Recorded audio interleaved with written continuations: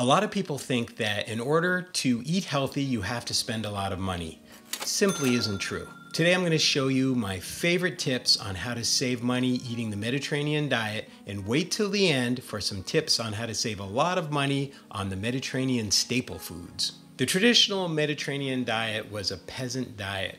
It was people who didn't have a lot of money. They didn't have money for processed foods, for meat, and so they ate most of their food off their own land. So grains, vegetables, beans, nuts, seeds, olives, olive oil, all from their own land.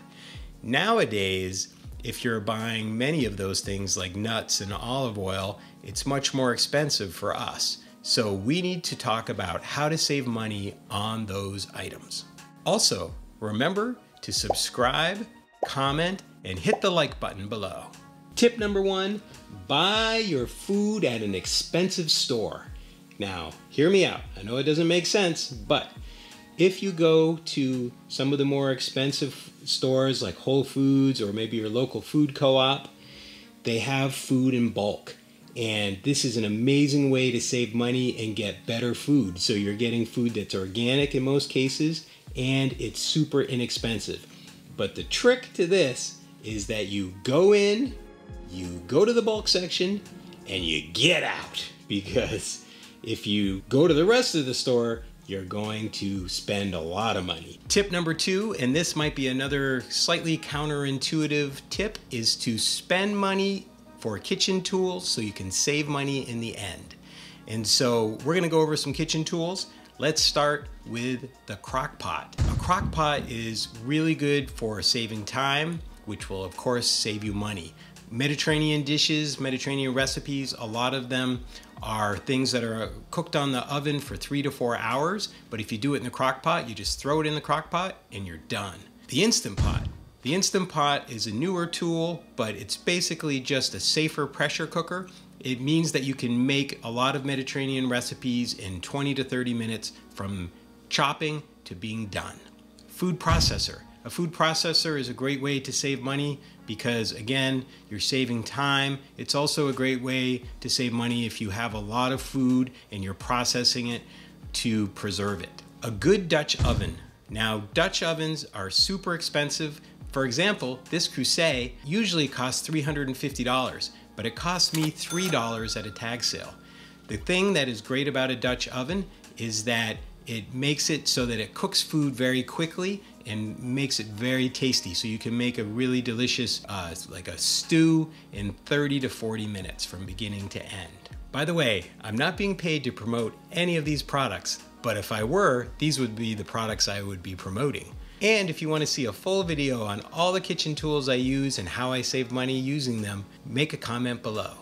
A blender is another tool that is crucial if you are trying to process a lot of food and preserve it in any way. So good tools are things like NutriBullet, Vitamix, and you can often get a lot of these type of items at thrift stores or tag sales. And finally, uh, what you store the food in is good, especially if you're gonna be, again, preserving it. It's good to have really good Tupperware as well as uh, mason jars. And those are both going to save you money in the long run over things like Ziploc bags or other ways that you might freeze or preserve food.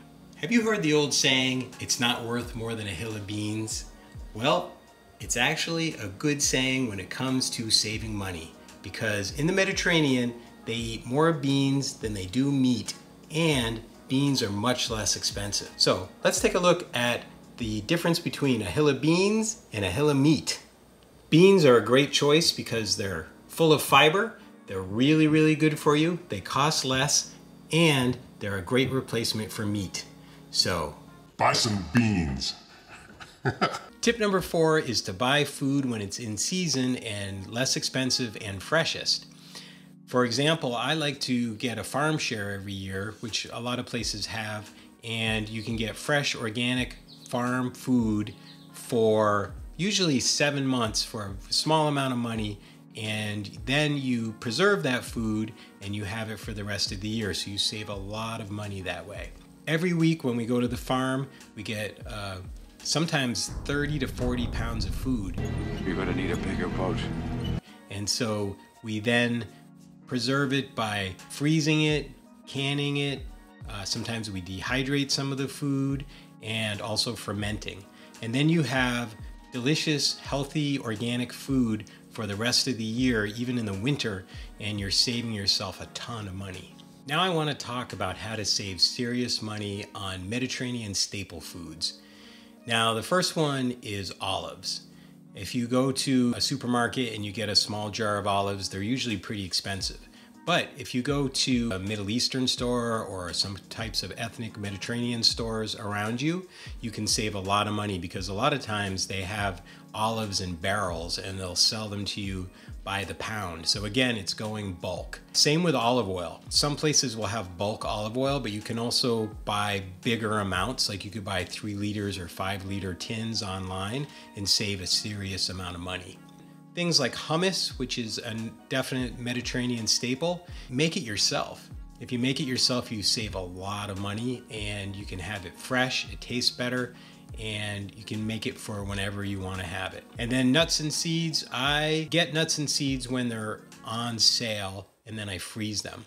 They last a really long time, and this gives you uh, the opportunity to buy different types of nuts and seeds for lots of different types of recipes. And this way, you have whatever you want whenever you want it and you just go to the freezer, grab it, and you got it. Finally, feta cheese, which is another big staple. Same thing as with the uh, olives. If you go to uh, like a Mediterranean type store, they'll often have it in barrels or they'll cut it for you uh, in the deli. And usually it's a lot cheaper there than it is if you get one of those little tubs somewhere. So those are my tips for getting really healthy Mediterranean food for much less money. And trust me, there's always sales and you can find good items and make sure they're items that you can freeze or preserve or keep for a long time. And that's it, how to save money on the Mediterranean diet. I'll see you next time.